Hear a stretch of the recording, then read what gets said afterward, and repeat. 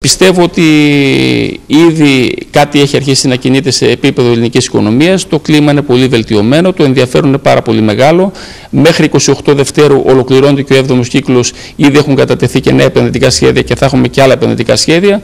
Και βεβαίως εμείς με χαρά θα προχωρούμε τις διαδικασίες, μια που ενισχύσαμε ήδη και την αρμόδια διεύθυνση, έτσι ώστε να πετυχαίνουμε τα καλύτερα δυνατόν αποτελέσματα στο συντομότερο δυνατόν χρονικό διάστημα, να υπάρχουν ε, εγκρίσεις ε, για δημιουργία νέων επιχειρήσεων, για στήριξη παλιών επιχειρήσεων, για εξυγχρονισμό παλιών επιχειρήσεων και βεβαίως για δημιουργία θέσεων εργασίας που είναι το ζητούμενο, μια που η πατρίδα μας αντιμετωπίζει ένα τεράστιο κοινωνικό πρόβλημα αυτό της ανεργίας. Είναι μια εταιρεία νεοσύστατη, έχει ιδρυθεί για την παραγωγή αυτού του λογισμικού, το οποίο θα χρησιμοποιείται για την διαχείριση των χωματολογικών που παράγονται από έργα παράδειγμα οδοποιίας, όπως επίσης ας πούμε και τις περιβαλλοντικές επιπτώσεις που υφίσταται ο τόπος μας από αυτές.